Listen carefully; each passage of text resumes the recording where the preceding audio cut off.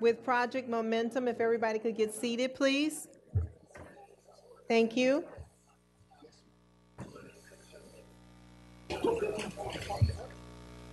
All right, we are um, going to begin this with about uh, 30 minutes covering the information, and then we should have about 30 minutes to allow questions. All right, go ahead. And my goal is to do such a good job, there's no 30 minutes for questions. Okay. Okay, miracles do happen. So um, I think Scott did a wonderful job articulating earlier um, really the, some of the finer points of why we need to do this and how it is incorporated deeply with the presentation that you just saw. So first, I wanted to introduce um, our wonderful principals that are here with us today. We have Kathleen Quigley, Marie Lemon, Eric McCann and Matt Eline, so our three association um, heads. And we also had um, scheduled uh, to join us was Meryl Dade, who's our principal of the year. She's home uh, quite ill, and then Penny Gross was here, but she had to, to she stayed as long as she could, but we ran over a little bit, so she had to uh, had to leave for a school event. So I wanted to have um, cross representation of not only all the regions, but also um, just different types of schools represented. Um, so that was the intent um, today. So we've had a couple people leave, but I think um, the principals here can certainly speak to um, any questions or concerns that board members may raise in the question period. As we go through, I wanted to start out with just kind of, and we've all had this conversation in the two by twos, so some of this is a repeat. Um, again, very supportive. Um, I personally want to thank each and every member of the board um, for your support of this. You guys have been incredibly positive and supported this initiative over the last four years. Um, and again, this is just kind of hopefully more of the same, but even more focused, um, and will support more schools. So with that, we wanted to make sure we tied it to um, the One Fairfax policy, and that hopefully is going to be one of our guiding lenses as we go through um, in the future with Fairfax. And then we wanted to make sure that we tied it to our um, excellence, equity, and effectiveness lens in all areas. Um, as you can see, um, you know, we want to be the premier school system. We must continue to find ways to be very strategic with that. How are we isolating areas where we're not growing as well as we should? How do we take the lessons learned from whether it's Project Momentum, um, the Closing the Achievement Gap framework, or anything else, and uh, got it? That was too close. I'm too loud. And move that. Um, and then obviously our equity um, lens and supporting the new SOA adjustments. Um, and I actually, there was a change in the excellence bullet. So I was working from two different laptops, and clearly I screwed up. So I apologize um, that that's change is not in there. So this is the original presentation. Um, so that just caught me off guard. Sorry about that. Um, and then effectiveness, um, obviously, we want to look at what is what is the winning formula what are we doing what do we know works how do we replicate that and expand that to all schools and i think you're going to hear about that um, today as we go through this so one of the things we want to do is look at our needs-based staffing allocations um, and the two changes that we would be proposing are changing um, our staffing formula in terms of our office assistant calculation and then we would look at in addition to that, raising um, the floor for needs-based staffing. So the two basic shifts, um, as you can see, they're not significant shifts um, in terms of affecting a, a large number of schools. As a matter of fact, um, the calculation of shifting from 20 to 25 percent poverty affected 13 schools. Five of those schools actually would have been brand new schools um, to receive needs based staffing um, next year. And that is a, an important point for people to keep in mind because as our demographics change and our poverty rate changes, then that's going to increase the cost um, of needs-based staffing and is something that um, is going to happen over time. In addition, those schools at the higher end, as they move up you know, that, that needs-based staffing calculation um, is exponential, and those schools will qualify for more needs-based staffing. So um, in, in really looking at this at a, at a pretty detailed level, I think this is a very prudent recommendation for the board to consider. So the office support staffing, we want to try to um, align elementary, middle, and high school office support staffing. Um, and it also refines our approach to make sure that needs-based staffing is going to classroom-based activities and classroom teachers. Um, currently, we spend um, a pretty significant amount of money on office assistants um, at the elementary level, and because they are staffed by the number of teachers in a building. So the more needs-based staffing you get, the more teachers you get, therefore the more office assistants that you qualify um, for. And if you look at the impact of that, you know, basically we would have five, again, going back to the five new schools that would be coming in, those schools would also qualify for more office assistant staffing. And if you talk to those schools, they really didn't affect their um, their performance last year. They weren't calling asking for you know everybody could use more staffing in any area, but I think if you look at things like the past Gibson report and other things, there were some recommendations for us to um, look at our elementary office. Um, staffing um, and, and do it in a more equitable manner and, and make some reasonable um, cuts to that. So I think that this takes that into account. So what are our you know, we, we heard a little bit of a discussion earlier, and as kind of the hopefully the academic um, tip of the spear, so to speak, what are the things that we really focus on in our office to help really drive improvement in schools? And you know, the, these are the things that we believe and, and we've seen over the last four years. They're all research based. Um, they are highly aligned with the work in um, instructional services and basically, you know, high performing collaborative teams, high quality tier one instruction, a really tight lesson plan aligned to the state standards, which is one of the things that we led years in advance with our learn model and that the state looks at, at copying us. But again it's how do you get that implemented with fidelity across the system when you don't have enough people to do that? And that's always the challenge um, in fairfax. Um, formative assessments and i'm not talking about more testing right? It can be exit tickets. There's all kinds of different ways to assess students in a really really positive way but we need to make sure that those short formative cycle assessments are happening so teachers can change in real time their instructional practices to make sure that all kids are getting what they need. And then having a really tight response to intervention um, protocol in all schools where kids that are struggling get immediate assistance, retaught, reassessed, and then we move them forward. You think about you know, just a concept like mathematics and where they don't get those foundational building blocks and, and the lesson is moving on and, and the, the learning continues for a large number and those gaps increase because we, we don't necessarily circle back um, with the tight response to instruction program that, that we're finding um, certainly in our project momentum schools and some of our other schools um, in the county that have a really tight process um, they, they have a really good achievement results and that's certainly what we want to replicate um, throughout the system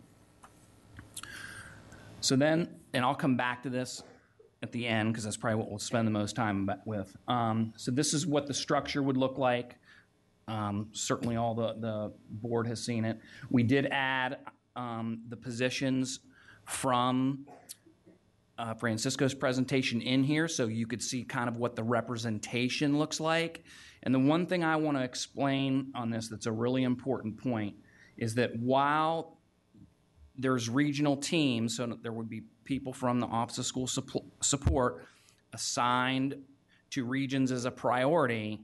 As a system perspective, we would use all those people to continue to support our intensive and targeted schools. That's very, very important um, because there are great needs in regions two and three specifically, and they happen to have the majority of schools that are intensive. We certainly would not expect the same number of people to support um, just those those two regions. So there will be some cross um, work of the folks that are identified above. And I think that will actually lead to greater collaboration within FCPS. Um, and it will make us more tightly aligned. And when we get to that fidelity, fidelity of implementation, whether it's uh, tier one instruction, um, high performing teams, the more we can do that with a group of people that's greatly connected, the more we can ensure that all kids are getting that. We've been talking about professional learning communities in this, which I'm probably one of the biggest believers of because I've seen the results. And still in this county, it's not consistent in our schools. And we know it works. And it, it's not that people are trying not to do it. It's just, it takes a lot of work and it takes a lot of monitoring and it takes people that know how to do it to get it in schools. And um, we want to be tight about that because we know that's going to be the key driver for improving um, student, student performance. So, just a couple highlights. Um, again, these are all things that we talked about. Um, we're going to continue to serve our intensive and targeted schools. We believe that it will um, increase the capacity um, to really serve as a regional deployment um, model, much like what Scott highlighted earlier um, during Francisco's presentation, to really give regions um, access to the resources that they need to help target the schools that they know best. Um, and I think that we have um, two great RAS in the back that can certainly um, talk to that if, if questions arise, how they may do that. I think one of the things we have to get serious about, and it was it, gratifying to hear the earlier conversation as someone who over 10 years ago applied for um, some of the extended the earliest extended contracts our our platform and our project at Thoreau Middle School was eliminating achievement gaps. That's what we wrote our grant for, and that's what we, we received it for. And because of the resources I received, we eliminated them. Um, and it was a, a great deal of work. Every subgroup, every subgroup, including special ed, performed above 90% over the over the time that was implemented. But we had very targeted resources. We had a lot of great people, and it worked. And we need to make sure we're talking about how do we truly close achievement gaps and, and what can we do to ensure that? And I think this work is going to help us um, make that. That's probably, I think, some of the most passionate work I have.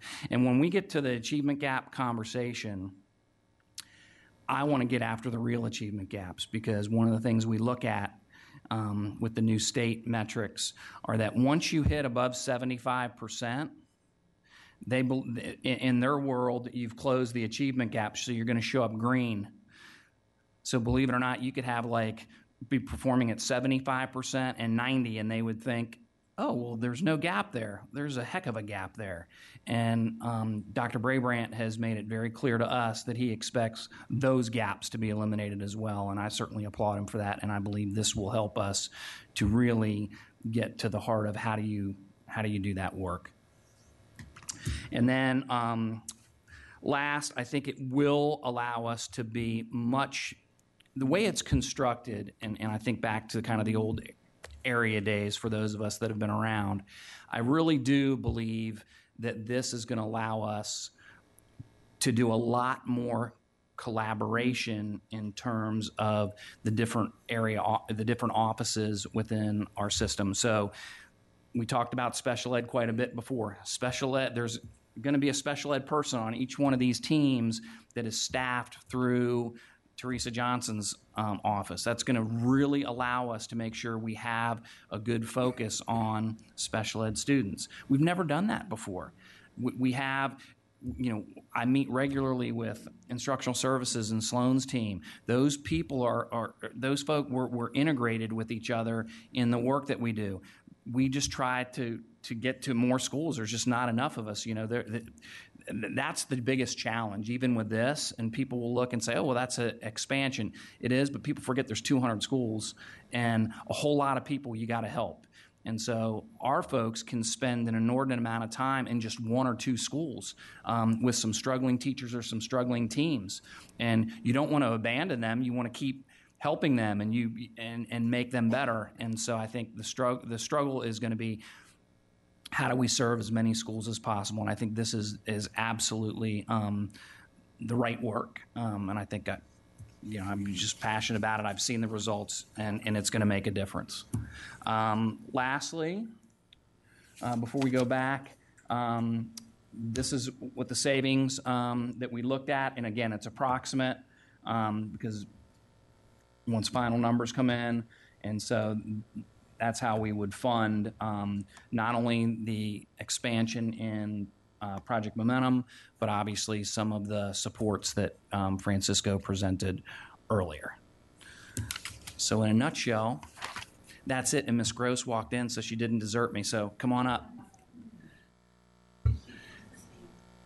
No, no, she, she's going to come and. So, so if I us. could, before the board takes questions, the what is taking something that you've had now for four years through the Office of School Support and Project Momentum results. You've had results. You've been updated each year, and it's been a smaller subset of schools. We're going to take it to scale across the whole division.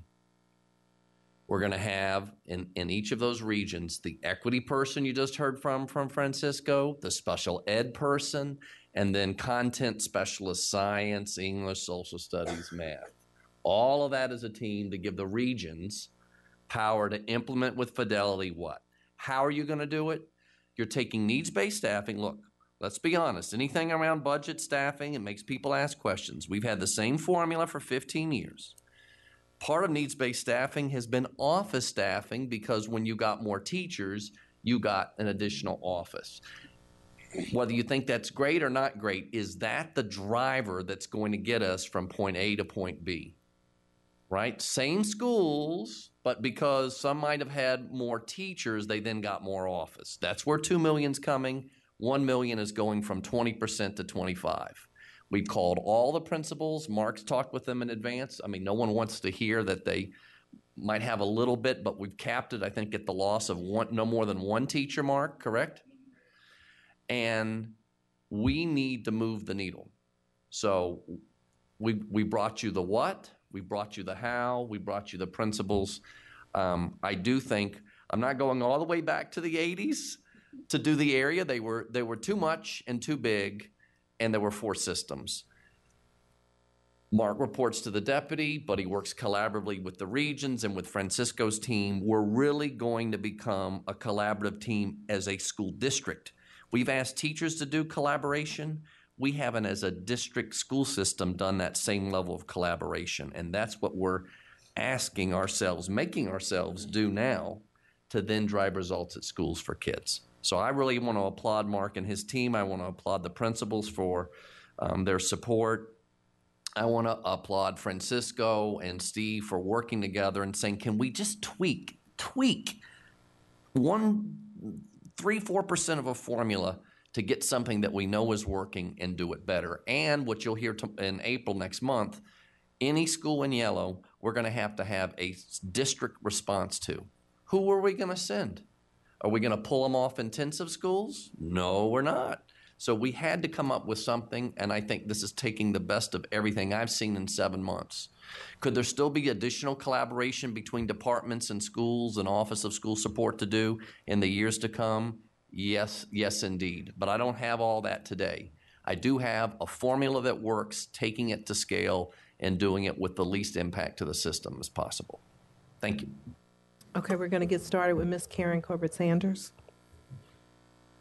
Thank you. And thank you, Mark, uh, to you and your whole team for all the work that you have done over the past four years and for all the work you're going to do in the future. We really appreciate it. Um, and I welcome this very intentional s- focus on um, support to each of the regions. I think that's a good idea. Um, I do have a couple of questions because actually, Dr. Brabrand, you mentioned it. The old area model created four separate um, systems within Fairfax County. And to a certain extent, my biggest fear is that we are creating five separate systems in the county with this model. And um, that is because of the way our regions are currently carved up. You mentioned, uh, Mark, that two of our regions have the concentration of our high needs and our poverty. Um, and if I remember correctly, and the regions were developed before I came on the board, but they were intentionally structured that way to concentrate our high need schools in in no that's what i was told but okay maybe i'm wrong. Well but it's not geographic because i have schools in region 4 the region 4 is a very elongated long region. Um, region 3 is much more compact in its geography and it's more compact in its needs. And so what i'm going to ask is if we can please relook at those regions in a way because if we're giving the exact same team level of support in each individual region then we might want to balance the workload within the regions to make sure that we don't have all of our title one schools in um, or the 90% of our title one schools in two regions and the rest uh, just in a few other places in pockets. Uh, because I think it is important that we have this focused approach, but we also want to make sure that we um, have more balance. And and frankly, I think that when you do that, you also have that shared accountability across regions because it's then becomes somebody else. Everybody has a little bit of the problem. It's part of that equity piece. Um, and then I do, do have one question regarding your. You have three point two million dollars is what you've um, been able to pull together between the needs based staffing for uh, front office support. And uh, was it more than just front office support? I thought it was also, um, you know, we have custodial support based on the number of teachers, and huh? So custodians are part of that formula, um, but we did not touch them because Mr. Platenberg would not be very happy with me. Um, there, there's a lot of reasons we just didn't get into that, to be honest, at, at this point. The, there, the custodians is much more spread out. Okay. Um, but it, it, there, there, it, there is there is funding that is currently from needs based staffing that is spent on custodians, and I think obviously that you know things like that can be looked at down the road, but it's not as significant as the office assistants, and it's it's not concentrated in just a few schools. It's much more spread out, and Jeff could bo- probably speak to that better than And better I- than I could. I would presume it's because they're taking up more square footage. If you have uh, more classroom space being trailers used and- trailers, then you have a requirement. But I know that we're going to be asked that question, so it would be helpful to have an answer to Okay. it. Um, and you know, just once again, if we can look at uh, our regions, I think that would be helpful. Um, and I do support what you're doing. I think it's uh, great focus, especially on making sure that we have fidelity of implementation. And I can see you and Dr. Duran working very closely together because they are hand in hand in equity.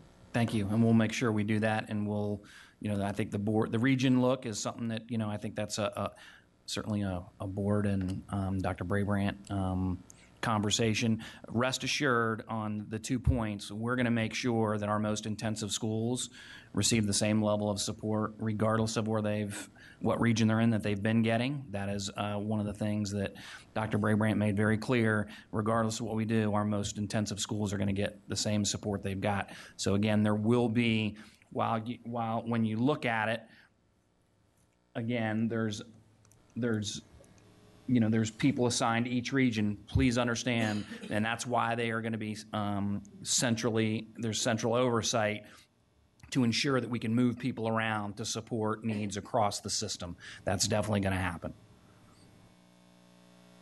Thank you. Uh, Next, we have uh, Ms. Evans and then Mr. Moon.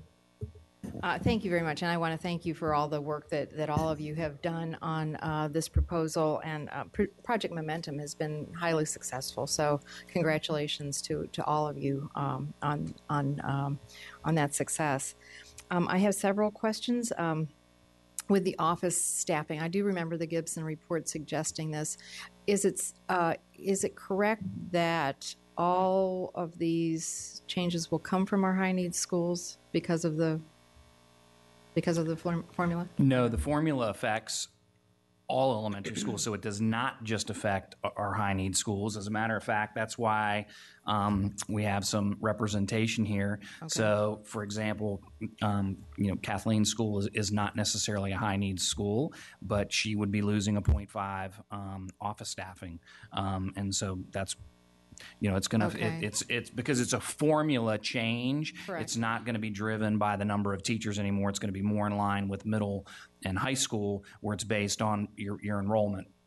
There's a small factor that they put in to account for our more needy schools, a very slight um, adjustment, but for the most part, it, it's much more even and much more equitable. And so it's, I would say, probably more schools that are. Um, many schools that are at the high end are going to be affected, and our, our low end of poverty um, are going to be affected as well. So is uh, the standard that no school will lose more than one staff, is that also true of the office staffing formula change?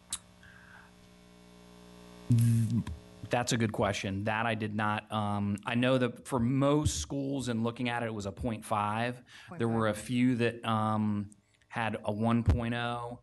I'll go back and look I don't, I, and get you that answer. I'd be interested if, if there was anybody who, who lost more than one position uh, f- of office staffing. I, um, I do support what you're doing here. This, um, um, I think that uh, while nobody is going to want to lose office staff, it's, it's better than um, what might have been considered in, in terms of uh, losing uh, teaching staff or teaching assistants. I think the, the uh, going to 25% makes sense. 25% is still below average in terms of in, in terms of um, FRM. Uh, that is in our district uh, low poverty school. Um, so uh, I think that makes sense to to raise that in order to uh, provide more more resources elsewhere. Am I correct that when you say the intensive and targeted, um, will they not lose any funding? Uh, those are intensive in our targeted schools. They won't lose any project momentum funding. Is that correct? That's correct. We, we int- intend on giving them the same support. Targeted, we're going to have to look at um, this year, and I'll, I'll bring that to the board when we come in October. Um, I don't know how much yellow we're going to have. Like, I, it- like that's going to be a little bit of a uh, of a different paradigm shift for us, and so we're we're going to have to figure out. That's probably the one group that we'll have to figure out how we identify maybe a little bit differently. I think our current metrics are really good; they've worked really well, but without seeing what the state is actually, what the effect is actually going to have. Um, I think we're going to be able to do all the same support for our targeted schools as, as, well. But I just want to say it with the caveat I want to wait and see what the actual results are. So I know we have to deal with, with new standards, and you know that's important that we do that. I just want to make sure that our highest need schools don't lose as a result of it, because that's got to continue to be ab- a- a absolutely. focus. We'll ensure that happens. And then my um, um, my my biggest question here has to do with needs based staffing, and you and I have had a conversation about this with Dr. Lockhart as well. And I had a conversation with Dr. Raymond. Is he still? Are Oh, hello, Dr. Raymond.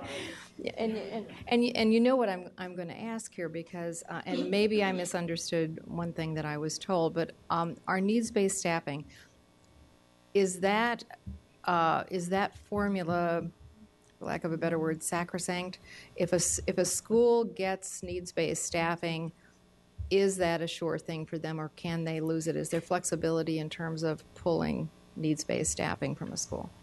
I'm gonna let. Um, I, that's a that's way above my pay grade. I have no. I don't know the answer to that. I've never pulled it from anybody. I've never seen it pulled, but I don't know. That's that's a question for somebody else. Uh, Oh, there you, I apologize. I don't have the answer. Dr. Ramey, is that, that's a question for you then? So we don't. I- I think kind of what you're asking is the interplay between the needs-based staffing and these um, the class size regulation that we have in, that we're utilizing at our schools. And while needs-based staffing, no, is not pulled back from a school once it's provided, we have gone to an approach where the class size regulation is going to take precedence when we're looking at staffing schools. And so, for example, if by formula, overall from the staffing formula, a school is allocated 25 positions, but when we look at that school in terms of how we staff it, based on the class size regulation, and we can staff those classes with inside the caps using only 24 teachers. We've talked to the principals at the elementary level in the regions that we will pull back a teacher and redeploy that individual to a school that perhaps is outside of the class reg or has a vacancy that we need to fill before the first day of school. So a school can lose its needs-based staffing if it's if it doesn't have a need to lower the the top of the if it's if it doesn't go over the cap. That that gives me great concern, as you know. I, I expressed great concern over this. You did, and when when it comes when the staffing's done by, do you want to come up here and join me, Alice? Um, when it's done by finance and then the allocations come to us to work with the schools from HR's perspective, we look at what has been allocated through the process to that point. And as I said, um, we then apply the class size regulation over the top of that using those as our guidelines. So let me put it this way: um, if our needs-based staffing was in policy, would some schools be staffed differently today? Well, probably. I mean, it it depends. Um, if if the class size, I mean, I think, like I said, I think that we have two thing, two competing interests that we're trying to get at the same issue over the last couple of years, and as we put them in place, we haven't really looked at how they interact with each other, and so we have this approach with needs-based staffing. Then we have this regulation that's embedded in class size, and so while they're both trying to get to the same goal they end up being kind of competitive at times. And so I, I, guess my advocacy would be if we need to put needs based staffing into policy, we should put that into policy so the other policy doesn't trump it. Because we have a long standing belief in needs based staffing. And if, if what is in policy is trumping needs based staffing, then we need to take the action to put it into policy.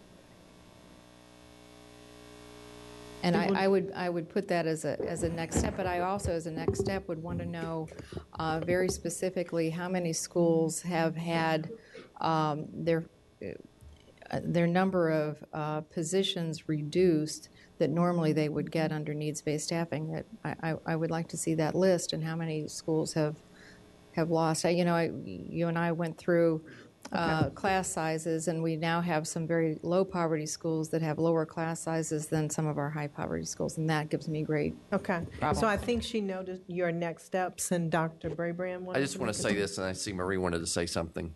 This is a little unrelated to the specific proposal we have on the table, but I would say this. I, I left for five years.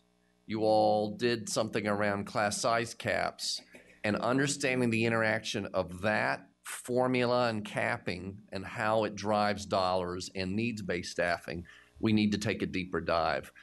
And, and honestly, I'm just, I, I've already told Chase, I want to look at all of it. I know that may be, oh my goodness, but we need to really understand how both those things have worked. Who have they benefited? Who, how has it been distributed?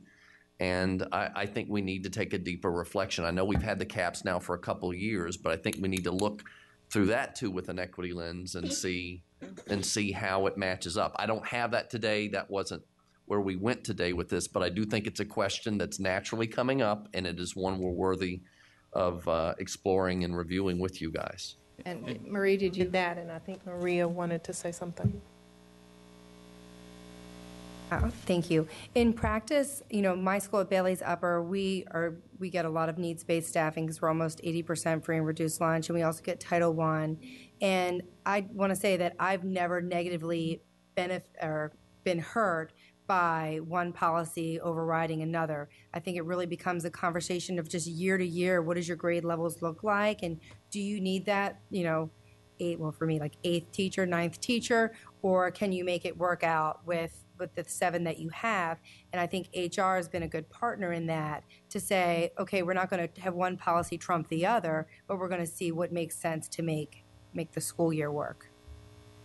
Thank you. I, I will add one thing to, and I know as Dr. Brabrand said, this is off topic, but to, to Sandy's point, and it is looking at all of it because what you described there about a low poverty school with the class size is really a result of the class size regulation. And it's really demonstrated by a simple example that if one school had 65 students in a grade level and the other school had 58, it doesn't matter what the poverty levels of those schools are. Right. The one is going to run two classes of 29, and the other, we are going to have to give a third teacher to. And if it happens that the lower poverty is in the school that got 65, Right. they would be able to run class sizes at a significantly lower amount than the class than the school that had 58, just because of the way, as Marie said, the students come in grade levels. So I think that's why Dr. Brabrand's right. We have to go back. We have to look at it all um, over overall. And but I also think uh, just one more point. Uh, but what one thing that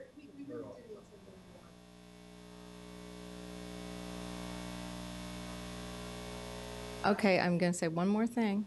Other people have taken 20 minutes in a turn, and this is going to be my last one. All right. And you raised something in our conversation about the impact of having an AAP center there. That you that a that one school could get two more positions at one grade level because of AAP.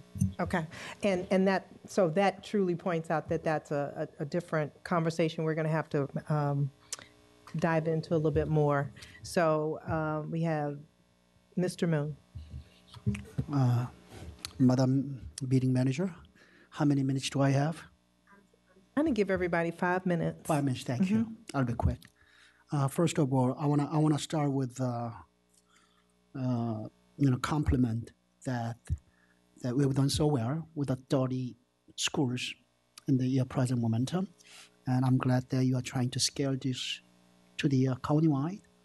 Uh, at the same time, I have some areas of concerns or questions at least that from 30 to almost 200, I don't know how many is, will be in yellow uh, with a staff of 18. That's from 8 to 18, just adding 10 more positions. You want to scale it to the entire 200 schools. So uh, there's a, uh, that's an area of my concern whether we have enough position to be able to help all 200 schools, or you're going to just focus on those which are going to be in yellow, number of which we don't know yet. Uh, that's a question and comment. Uh, the second point is where the uh, Miss Evans uh, expressed her concerns. Uh, is you know for me uh, when I had that two by two meeting, I didn't quite get the two point one million dollars of additional revenue to be generated by adjusting office staffing. That where uh, I have the list of those 13 schools where they may be losing some staffing based upon change in needs-based staffing formula, uh, but I don't know where the other 2.1 million dollars will be coming from. What schools will, will be affected? Uh, Mr. Greenfelder, you may not have that information handy, but I would like to have that information.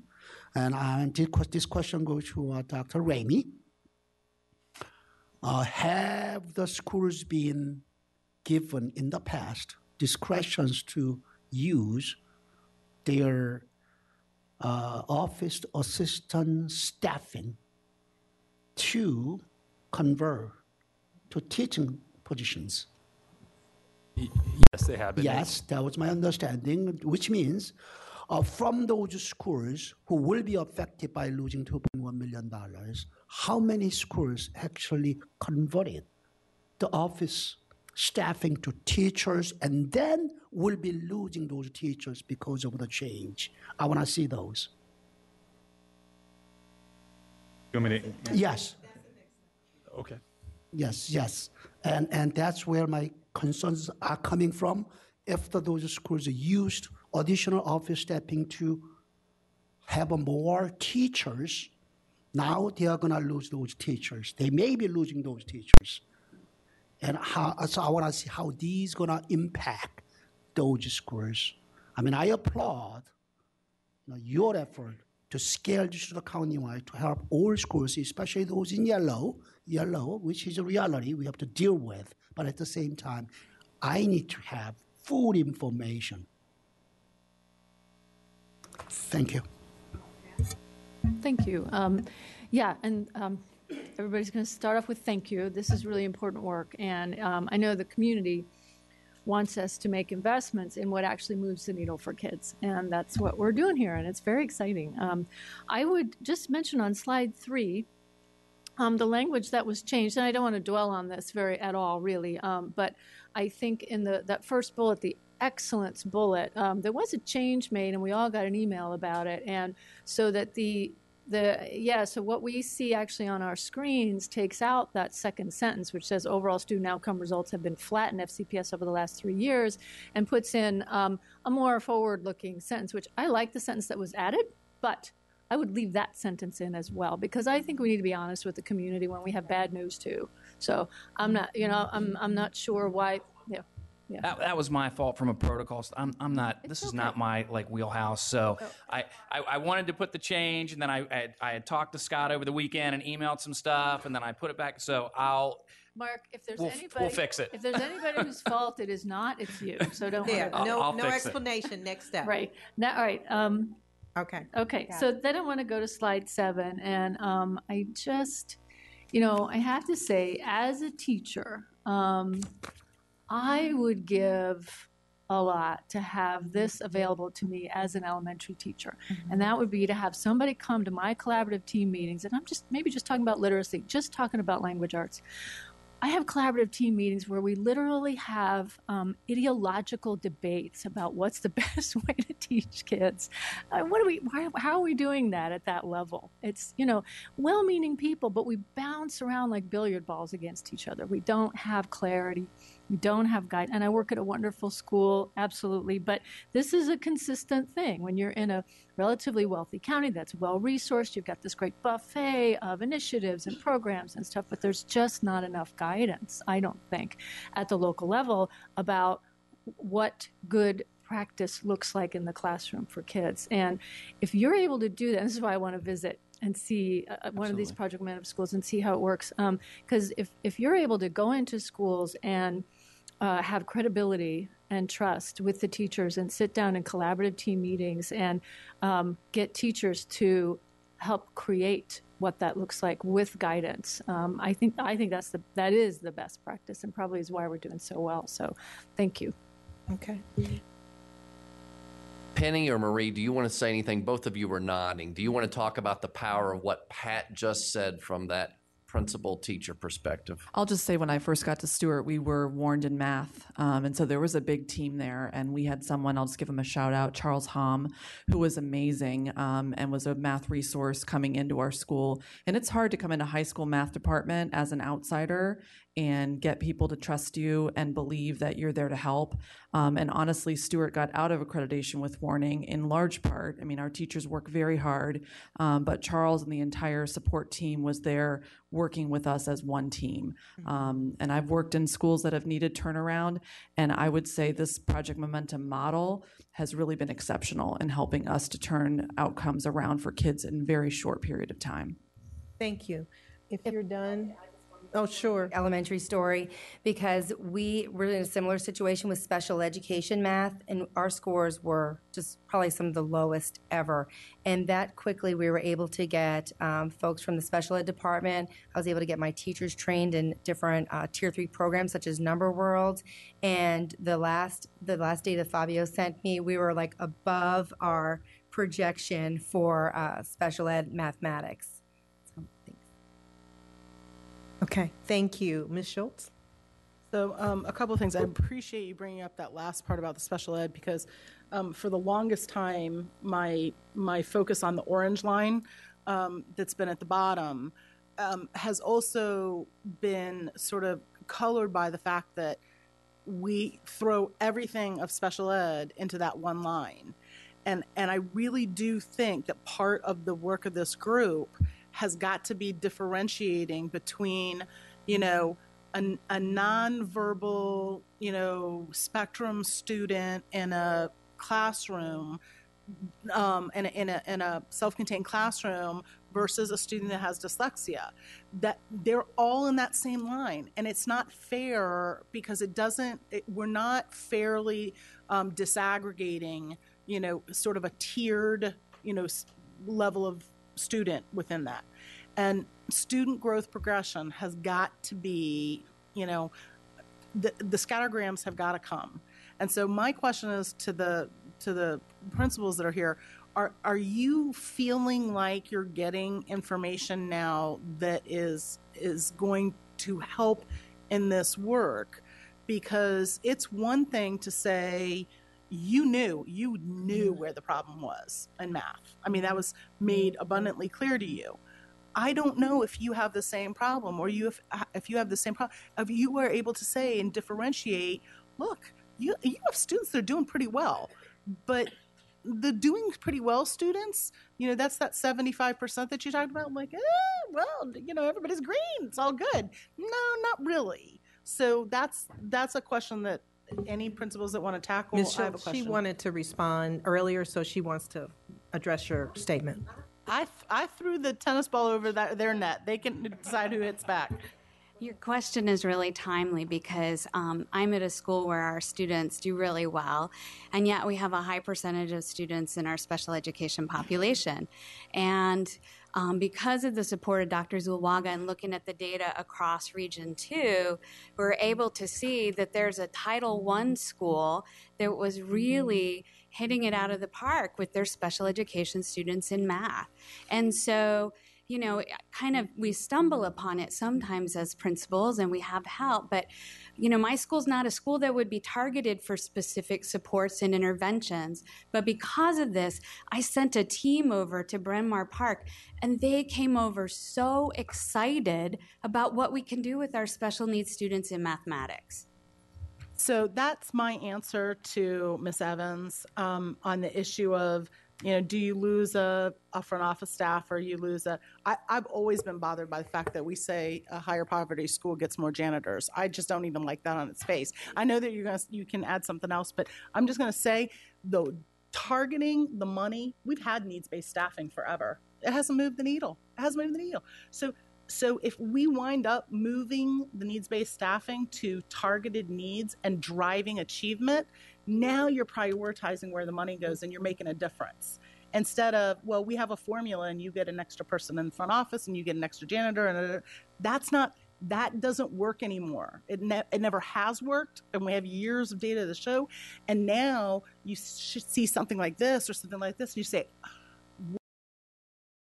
money to specific areas areas of specific need in specific schools, then you're then now you're Mr. Eline. No, Mark, Mark told me I had to talk, so I'm going to. Um, listen, I watched what Mark was doing, and I lo- watched what Penny did and Marie did at their schools, and I said, why can't we do that at Robinson? We still have groups, special ed, ESOL students, that we have gaps. And I wanted to know what they were doing. So I went to Mark, I sat down with him, and he was gracious enough to talk to me, give me a little staffing, like a, not much, but he gave me a little. Uh, I wanted more. Here's what we've done our ESOL students, for the first time, went to our homecoming dance. They went to football games. You know what we did? We stopped ignoring them. We made them part of Robinson. And once they became part of Robinson and they bought in, achievement is starting to go up. We now have tutors from George Mason coming over and working with our ESOL kids, and it's going to make a difference. We've also sent a teacher down to sixth grade to start working with those kids so that when they walk in in seventh grade, we have a relationship with those ESOL students.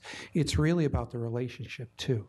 If you can build that, then you bring best practices in and they feel like they're part of your school. I think we can move the needle. And we're doing similar things for special education.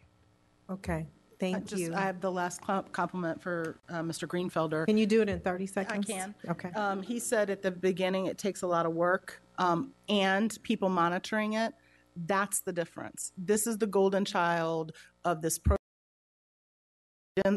Um, no, no, di- no.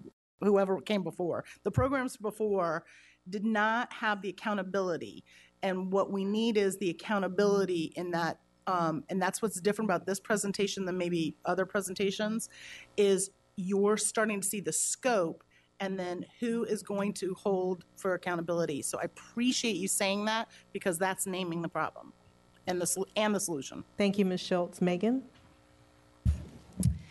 So uh, I just want to share with my colleagues first that when we had our two by two meetings, um, I, I felt it was extremely important to say to Dr. Brabrand, who, yes, had been with us in a different role and was new, that in my six years on the board, um, the work that Mark has been doing, first when I met him at West Springfield, but especially since he's come up to do this Project Momentum, it, it's incredible. And um, you are a tremendous asset. I figured might as well, you know, embarrass you just a little bit more. Um, but as you're hearing this afternoon, um, there's a lot of excitement because this is something that we know as board members, we've talked about it. We hear it nationally. Every time we go to National School Board Conference, everyone's trying to figure out how do you find effective means for solving achievement gaps? And you've really, really done it. You and your team. And Scott, a shout out to you.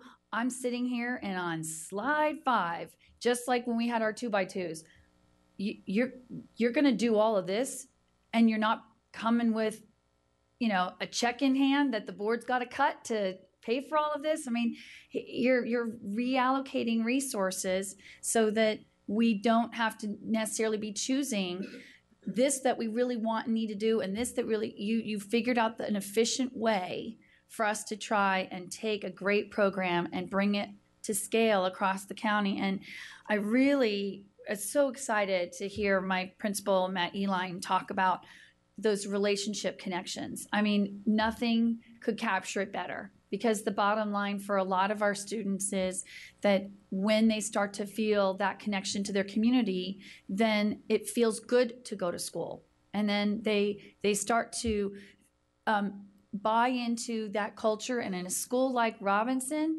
it, you know it's assumed that these kids are coming in buying into a culture of do well in school.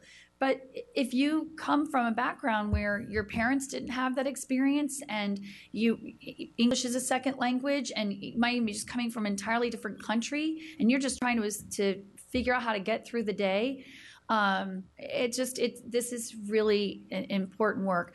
Um, so I, I also really want to say that I appreciate many people have said this, but in particular, Ms. Schultz, you've you have certainly been a champion on this, and I see our SEPTA um, representative here, and so to our special education PTA advocates, I want to thank you as well for reminding this board and our community when we talk about achievement gaps, our students with disabilities, our special education students, they are a big piece of our community that we've struggled to close the gap. So I, I appreciate that kind of intentional focus. We certainly have been very mindful about poverty, and that is such an extreme component to to all of this work as well. Um, my only constructive feedback is on um, slides seven and nine. Um, as I've mentioned, I'm a social worker by training. I read the language on seven and nine, and there's a lot of educational jargon in there mm-hmm. um, that I felt like after six years, I can sort of tease out what you're telling me. But if you, I, I don't know, find somebody, or if you want me to go offline and talk you through them, but I mean, bullet point after bullet point, I'm like, oh, the regular person reading that would be like structured response to intervention protocols. I have no idea what they. Do. I mean, the layperson would look at that and go, "I don't know what that means. It sounds good, but I, I kind of would like Very if we educated, doesn't it? Yeah, but I mean, I just like the idea that I want this to be accessible to our community, Right. and so maybe if there's a way that we can add a little bit more c- Can you, context. should, should we make the next step, consider uh, adding, providing plain language for slides seven and nine?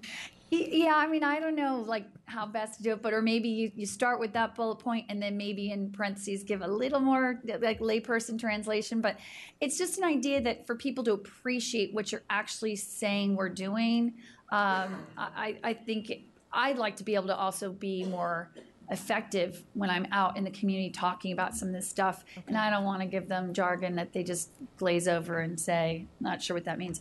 Other than that, just thank you, thank you. I have schools in Braddock District that know we don't hit the threshold of 30% or 25%, but I I mean, I I have plenty where we are close to 25 to 30%, and we're not labeled Title I. We don't have these resources.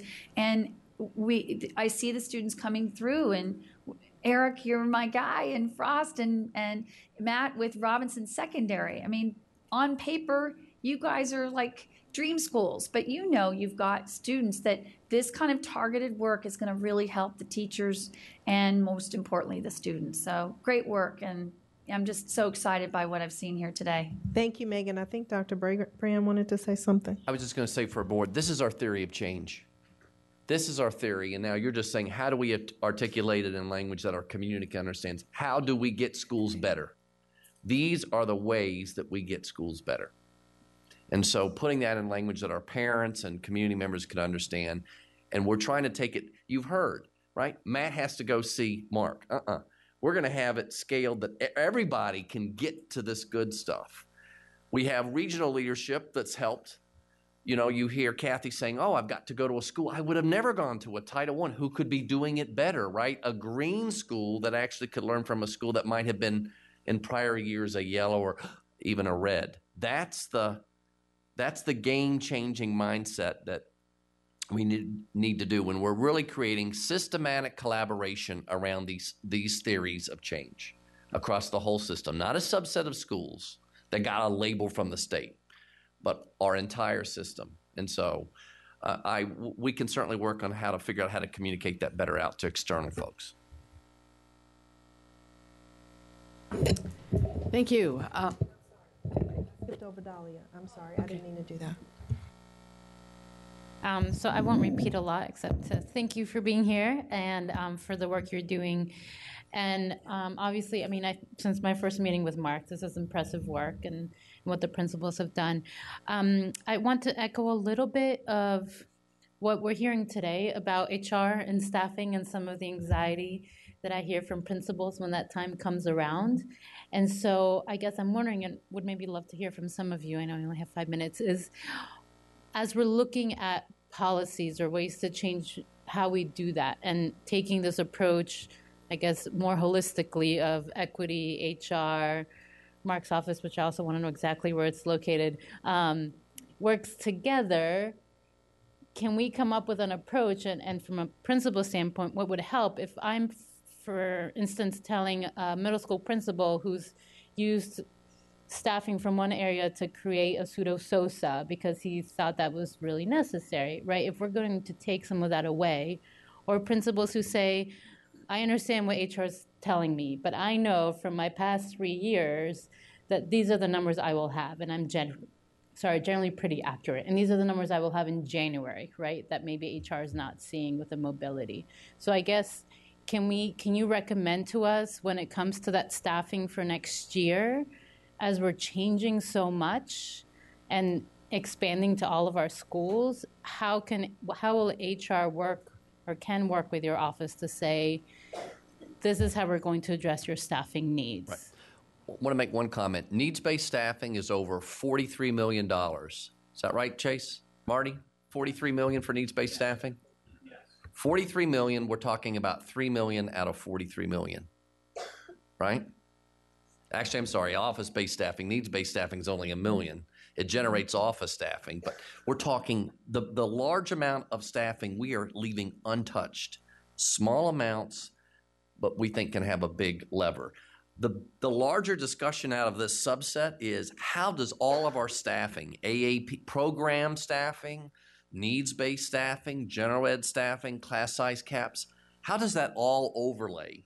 And how has HR had a leadership lens, an equity lens on how all that overlays. We've maybe never had that discussion with the board. How does it all play out? So that could be a next step, but since we have all of you here today, I don't know, or if you can give me, what do I say to a principal who says, oh my gosh, they're taking away these positions next year, right?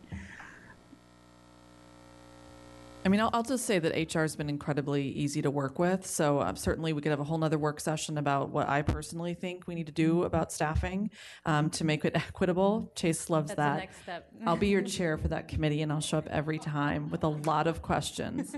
Um, But at this point, just in terms of this small change, I do feel like our RAS really listened to us.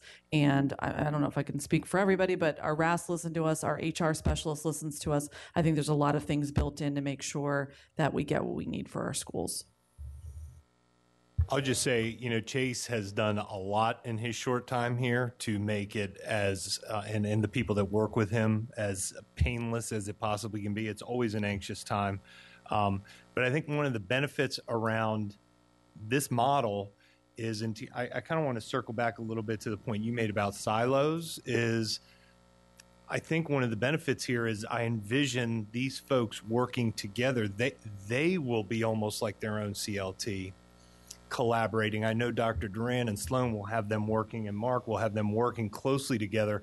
So they are then spreading out to us and getting that, getting these good best practices in our hands, and we can slot them in. And again, to what Megan was saying earlier, school like ours, we weren't reaping. We we have gaps, and we have, and we we do, and we have um, a large special education population. I have two um, special education programs in my building, and I have phenomenal teachers, but we can always get better, and we need to learn better. And, and it, finding ways for them to collaborate um, is huge. So this model helps with that.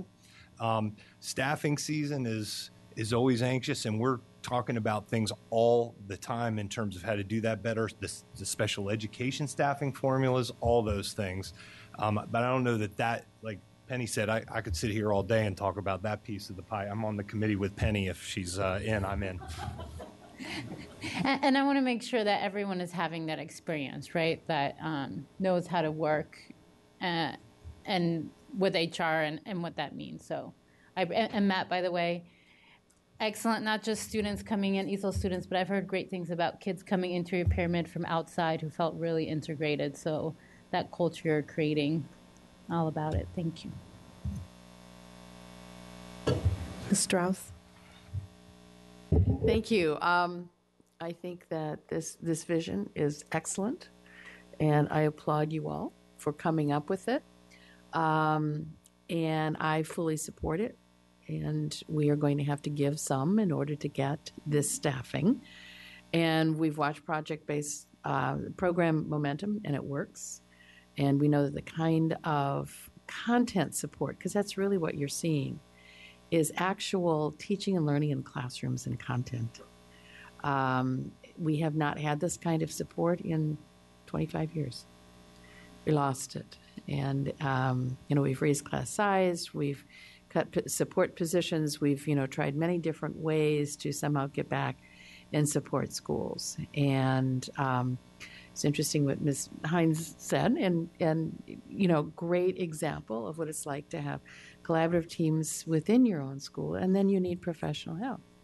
And uh, it's uh, Ms. Quigley at Franklin Sherman, where we do have a large special education population. We've always had it, and yet, how can what can we learn from another school? Do we have an opportunity to find another solution that we just simply didn't know? It wasn't that we didn't care; we just didn't know and how do you get it? And this kind of a an arrangement of current staff that we have, I think gives us an opportunity to try to be really very strategic. And the work is not easy. We continue to have changes in student demographics. Um, it would be if we, if we had all the money in the world, we'd have tiny class sizes. We would have, you know, huge classrooms for everybody and la la la. But we don't have all that. So um, uh, but I think this will drive us in in a much better place. So I fully support it, and I thank you all very much for coming up with it. I I really think it'll get us further down the road in a way that, that has frustrated us for a long time. When it comes to actual staffing, as particularly at those August staffing meetings where it gets tense, and I do think the rest, I think people work hard to try to understand what are the real needs of each school and sometimes each grade level. And there's always flexibility, and it is always hard to project what have you got in September? What are you going to have by the end of October? What are you going to have in January? And what happens in March if we have exhausted the, the uh, um, staffing reserve? So those are every year challenges that we have. I do believe that when we um, come to finalize the budget, there will be questions on staffing reserve. And because I know we robbed it some when we, when the school board, we did that. And um, I had some questions as to whether or not we were taking too much out. Um, so, but those are those are questions that have to be asked every single year, and it has nothing to do with this particular plan or um, some of our staffing models. So, I think it's an excellent way to go. And again, thank you all very much. Um, we'll be looking forward to as we look at the strategic plan and we look at the metrics, and we've just looked at, at the equity plan. So I think we're putting together some, uh, I think, a formula that gives us another opportunity to to improve outcomes for kids. So uh, go for it. Thank you. Okay, we have one go back with Mr. Moon. Yeah, I seldom ask for go back, but just for 30 seconds for Mr. Madeline. Thank you for sharing. Thank you for sharing with us what's going on at Robinson, especially with the ESOL kids, making them feel as a part of the school and making them feel comfortable and, and being able to become more successful. As a former ESS student who came to the US as high school students, the biggest reasons I would say that I had been successful there in high school was I had two native speakers who took me under their wings, took me around to all these school events, and it made me feel so comfortable.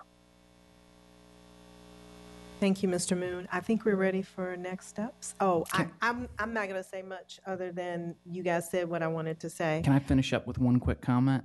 Well, I'm going to wrap it up and then you can say something. Then I will, okay. Um, and so I'm willing to try this process because it looks like it can work. And I'm also willing because it looks like we're going to have accountability. Go ahead. Thank you. I just wanted to thank, um, again, eh, all the board members for your support.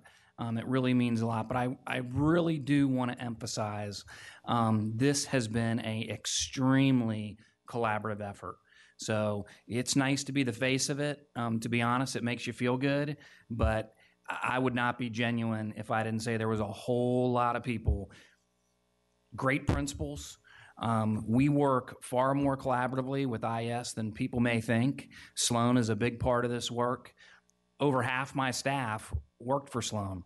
Um, and that's where they gain their expertise under his leadership. And they are a big part of what I do. And Francisco was a, a big mentor in coming up with this plan and coming up how we could roll it out and had some uh, phenomenal ideas. I think this is going to be great for our regional assistant superintendents and our executive principals. They have been um, very much involved in this and are very much a part of the success. And I would certainly be remiss if the person who started it all, um, you know, and that's Dr. Lockhart, you know, four years ago when he helped shepherd um, Terry Dade and I to start to begin this thinking and the members of this board um, that help support us in our work. That's where all this comes from. So again, I, I I'll feel good driving home, but there's a whole lot of people in this system. This is about Fairfax County, about doing what's right for kids, and this is about the collective good of what happens when we get a lot of really smart people in the room together and we come up with what works and what and and holding ourselves accountable. So I'm just uh, glad to be a part of that team, and we're going to make it more collaborative and better than it's ever been before. Um, I just know we're going to do that under Dr. Brabrand's leadership, and I'm excited for the future. So thank you. Can we do next steps now?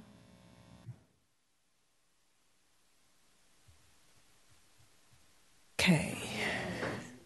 Number one. Karen, are you? No.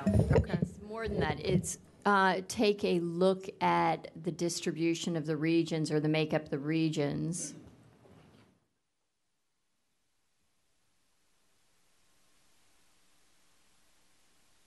So that they are more reflective of a socioeconomic balance. Or we don't concentrate most of the poverty in two regions. Okay.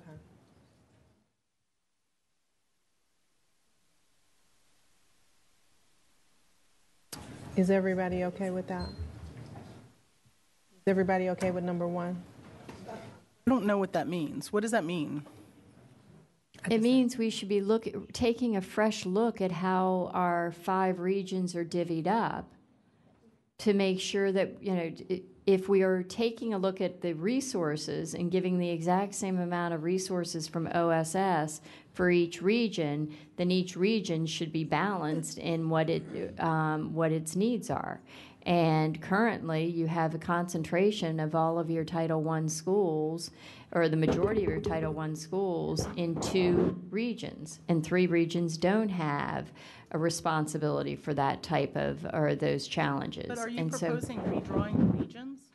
I want to have a fresh look and maybe uh, let the superintendent come back and say, we think that the regions are perfectly fine, or no, maybe we need to take a fresh look at the regions. I, I'm, I would not vote for this. I, honestly, I think we've had enough structural change um, over the last couple of years that that that embarking on another. I mean, uh, th- th- this is a massive project. I, I, I, this is not a next step, in my opinion. This is an equity issue. Okay, uh, I think Pat wants to speak to that. Yeah, I just, I don't disagree that there's a question here, but I don't see it as a next step. It's an enormous question that gets to Scott's idea about how to manage, you know, administration throughout the system. I, I'm only saying, I'm not saying it's a bad idea, but I don't, I would not, I don't think we should piggyback it on this conversation as a next step. I think rather maybe it's something we bring up separately and have a longer discussion about. That's all. Uh, I actually would have to say I agree with that. Um, Ms. Evans? I'd say why not get the factual data on it and say, you know, what, uh, in terms of the regions, what what's what is the socioeconomics, and then we can, if we want to go farther with it, we can go farther with it. Why not just ha- ask for some factual information about what what is currently? Yeah, get get something in the Brabrand briefing. So not to change it, but just provide information on the current. Uh, the current demographics of each region. I know, guess I'm, I'm struggling with how it relates to the discussion, the topic, but Dr. Brabrand, did you want? Well, it does because because we're we're we're looking at adding resources by region, and so Okay. that's the question. If we're going to add resources by region, where are we adding resources? Dr. Brabrand, did you want to speak to that? Uh, I, I don't want to divide the board on a topic. Uh, you did my mid-year, and, I'm- and I'm a get to yes guy. So I, I'll relook at anything. I wasn't here. I wasn't here when you went from eight to five, and I'll be honest. In my first year, I felt like scrambling the deck. You can rearrange the chairs on the Titanic, and the ship is still going. And not that we're the Titanic, but you get the metaphor. Yeah, wait, wait. Yeah, okay. Hold on. Let me try a different metaphor. It is Just let me try a different. Let me try a different thing. Just changing the seats Yeah. sets people in a whole different direction instead of saying, "Look," right? So. I can certainly give you the region stuff. I need to do a lot more to find out what my predecessor did in developing the regions and understanding how that happened, and I'll be glad to do it. And maybe from some of you board members, I'll be able to know, and that might inform future thinking. Um, and I'm I'll, I'm happy to do that. I, I don't want that to impact what we've brought you today And, and as that's kind of my view. as a strategy. uh, How do other people feel about this? So wh- why don't we just take a vote? Who would support this? Getting the information, three point five, I think that's. Okay, we'll take, we'll take moon time.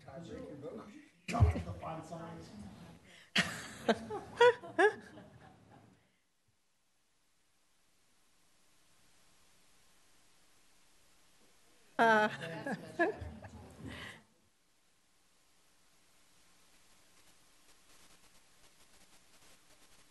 Again, what is demo, how, how much of the demographics, like, what are you asking for?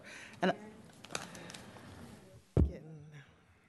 like, how much of demographics do you want? I mean, do- I mean, How many students? What is the level of poverty? How many schools per region? So that you know you see whether or not it's actually getting the same. You know, does each region have the same level of challenges versus um, the resources being allocated? And so what we're talking about is making sure that we provide um, a uh, insurance of quality programming and fidelity of implementation collaborative teams to support each of the regions but not each of the regions is going to have the same level of challenges as they currently are laid out so we didn't have the same conversation when we were talking about the equity position in the previous conversation. well because we're not ta- we're talking about Right, they're all, but there's kids in all regions, and, uh, so if we're So the now going to do question- needs-based staffing of, of the needs-based staffing, I, I, That's not what I'm asking Okay, for. can we, can we stop? I think um, we just need to make a vote, take a vote. We vote. did. N- Well, Mr. Moon asked for time to read. We gave him time to read. Are you ready? Are you done reading? Okay. Let's. Staff to five people. Self-control is leaking away. No. Okay, so how many people can support this? Getting the information. Okay, I think we're doing that. N- and Number two. So that was uh, lost more than one, uh, will lose more than one office position by the new formula. Yeah, we can combine with Mr. Moon's. Uh, Scarborough would list of schools that will lose more than one office position, if any. Okay, is everybody okay with that? again, can, I- can I just ask a question? I feel like I'm going to channel like past, past work sessions and next steps. To what end are we getting this information? I, and I don't know how much we're asking you to do. That's the other thing, is, are we asking for new reports? Is this something that you can just? No, it's a list of schools, and I believe Mr. Greenfelder was has it. Asking Dr. Brabrand. I think, I think we have the information. I, I, I've heard strong consensus that we can move forward, but I also wanting the board wanting to be proactive and have information available to you, and I'm going to get that information. I think Mark or I or Steve has it on some We, file. we have, we it. have the list, but I would want anything like that to come from Chase to you all. I don't want to send out a list of, Mark, Mark, of staffing. Mark, Sorry. Send it to that's me, come- Mark. Send it to me. I'll take care of getting it I'll out to send the it board. to you. I'd rather throw Chase under the bus. I can't whistle. Okay, are most people okay with number two? All right. I, I understand you have an objection, but I think that's the only I'm just objection I worried, I'm worried that we're going to now start elevating the certain schools and now say, well, they lost a position, and we've just No, heard but they that's went- okay. We, Okay. we have to look at the information and then make a determination. Number three.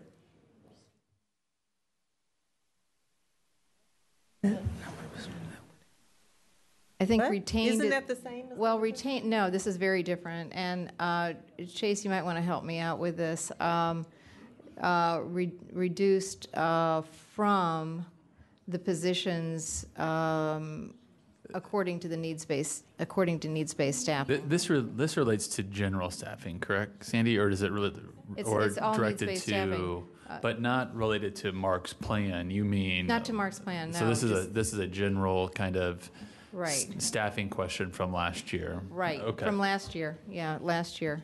Okay.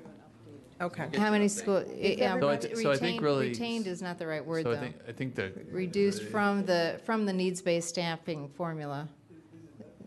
Okay. I would just say from the original allocation. From, okay, from the original allocation of needs-based staffing. Yeah. I know what she means, yeah. You know what I mean, okay.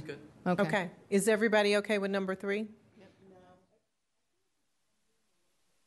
I, I don't, I, I, I'm, I actually don't agree with you. I think that she's asking for information. It's not undoing anything. We can certainly get the information if people agree with that and then make a determination if necessary. So is everybody okay with that? Okay. All right, thank you. Number four. So I don't know if this is a next step or if it's just we need to think about that. I, I, I'm, I, maybe, maybe that we remove that and just, you know, everybody understand that I'm thinking about that. Okay. All right, number four. Uh, just a slight modification of the language. Could, could I have a provide a list of schools that will be affected by office staffing changes and a list of schools that have converted office staff. You could, Okay. well, yes.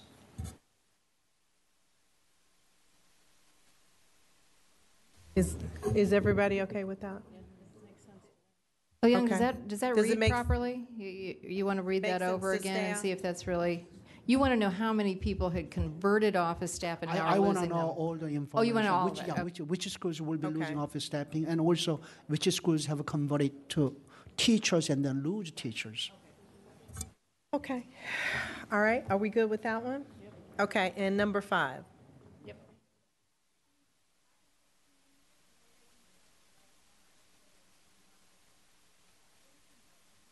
That's kind of how you say it. User friendly language. I don't know. Okay.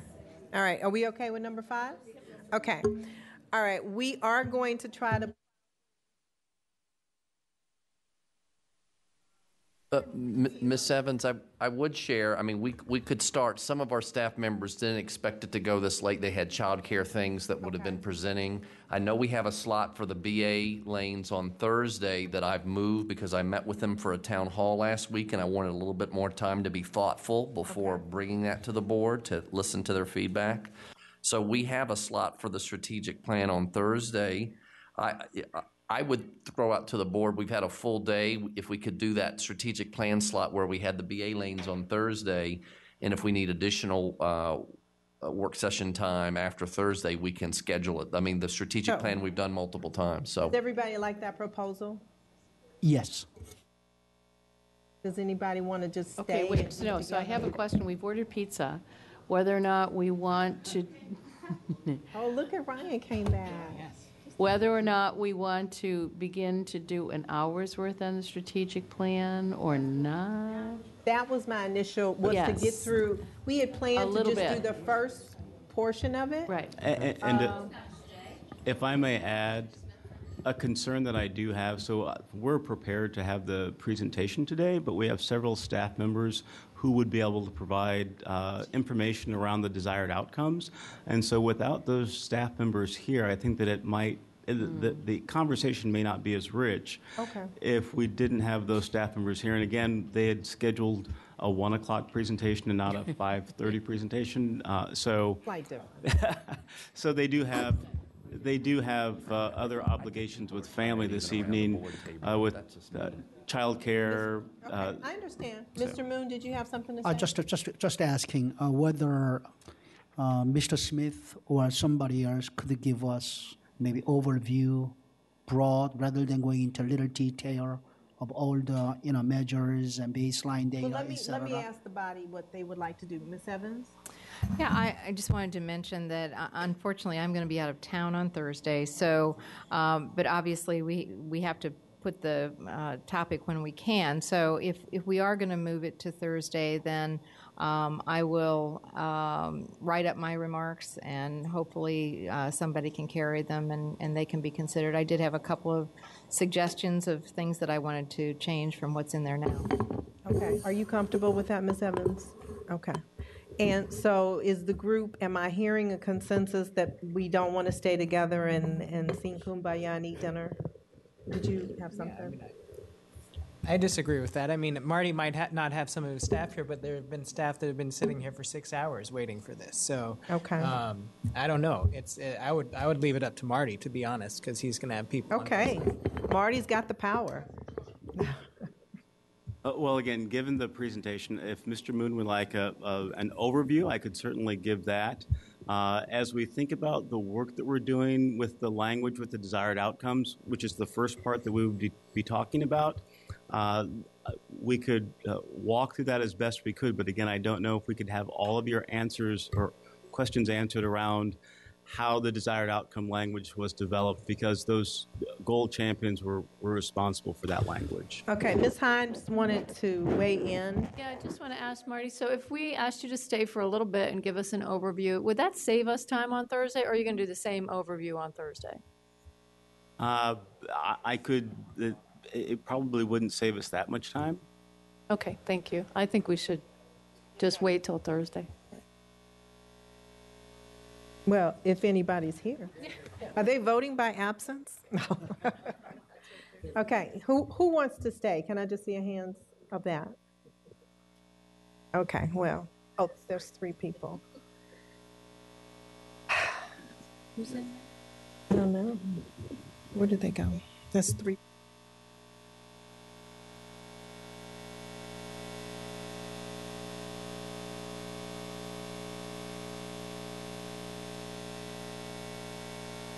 Uh, Madam, Madam Meeting Manager, we just take a vote amongst those who are at the table and then, and then go. It's going to be. You Oh, didn't it's have your three hand to up, did three? you, Karen? We have, Okay, so how many want to go? Okay, okay. that's four. Go. All right, thank you, good night. There is pizza. There is pizza